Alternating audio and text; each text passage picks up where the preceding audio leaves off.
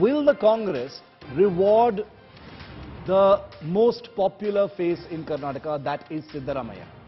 Can the Congress find a formula that is acceptable to all, you know, without fraying any feathers, without angering one person or the other, without, you know, leaving bad blood and discontent, which is a, which would be a very unfortunate thing after such a huge victory. Number three, are religious seers playing a role in the selection? That's actually a rhetorical question. Of course, they're trying to play a role. Whether they play a role or not is not known.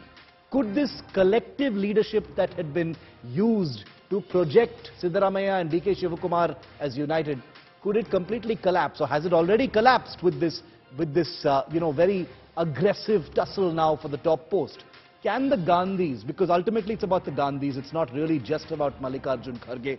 If the Gandhis don't agree, nothing can happen. Can the Gandhis ensure that all these competing ambitions are managed in a peaceful manner? That's really the key question right now. Because like I said, managing egos, managing ambitions, uh, the Congress has been a past master at it. But right now, one year before 2024, many more state elections to go this year, including very importantly Rajasthan. Can the Congress afford many of the pitfalls that lie ahead if a wrong decision is taken?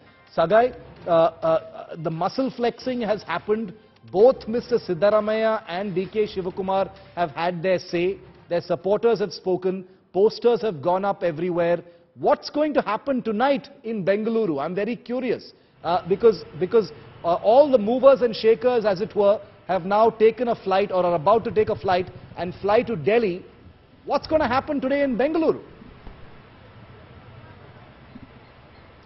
The supporters of uh, bo bo both the camps will be observing carefully what will be the development in Delhi and what will be the final outcome in Delhi. Uh, what we also get to learn is Vokkaliga community has called for a massive march tomorrow where they will hmm. be marching from Maurya Circle towards Freedom Park where they are demanding that DK Shivakumar to be made as the next Chief Minister of Karnataka and they are advocating that Siddaramaiah has already got a chance. Now, mm. it is the chance of uh, uh, DK Shivakumar, who is also a KPCC president. They are also cited, they have also cited that last time uh, there was a chief minister in Karnataka was when SM Krishna was made up, made as a, yes. a chief minister from Vokkaliga community. After that, they never had a chief minister from Vokkaliga community from Congress and they believe that this is the best chance and best time for Congress to go ahead and uh, okay. appease the Vokkaliga community. Remember, seven out of six seats won in Mandya, which has been dominated by JDS. Yes. And uh, it is all because uh, that uh, DK Shivakumar has uh, has uh, has proposed that he might be the chief minister if uh, Congress wins from those Vokkaliga belt. Wherever he went there, he said, Nanu nimma mane maga. I'm your son.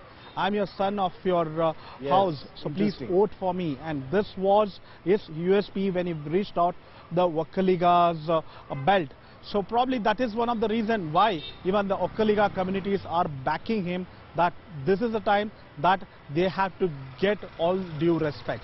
Okay, this is a massive chessboard. Viewer, this is a huge chessboard, giant chessboard if I can call it that, that stretches between Bengaluru and New Delhi. The chess pieces include the Gandhis, DK Shivakumar, Siddaramaiah, the Lingayat spheres, the Vokkaliga spheres, the Ahinda, uh, you know, community, and of course then there are all the voters and the electorate of Karnataka that has given the Congress this massive mandate and is now waiting for leadership clarity. Will that clarity come in the next 24 hours or even sooner? We'll have to wait and watch. There are pitfalls on all sides. The Congress has to maneuver very, very delicately.